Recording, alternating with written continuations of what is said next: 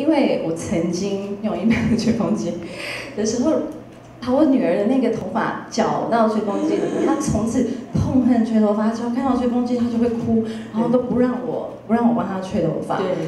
所以绞头发这件事真的是每一个女生心里的痛。对，所以一直是说，Lucy 跑很快，不是因为单纯只有吹风机，而是妈妈选错吹风机绞她的头发。她的跑也不是活泼，是逃跑的意思。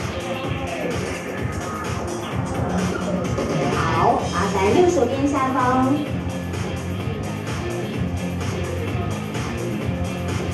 他其实对我没有什么控制欲，他对我的控制欲完全就只有在我的头发。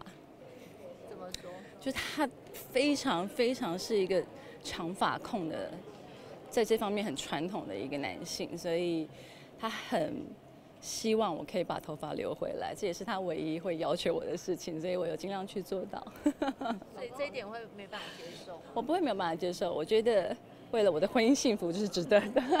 会有设计一个领导专区。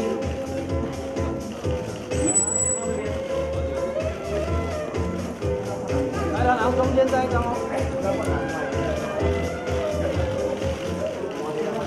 像艺人 ella 最近就是有把那个经纪约，就是可能传出要给老公管，那这部分你有有打有这样的打算吗？因为老公好像还蛮想争取多跟你相处的机会，你之前在脸书上有说。我觉得这不好，我希望我跟他公司分开一点比较好，这样子对婚姻的那个持久度，我相信是会有帮助的。就是当老板娘压力很大。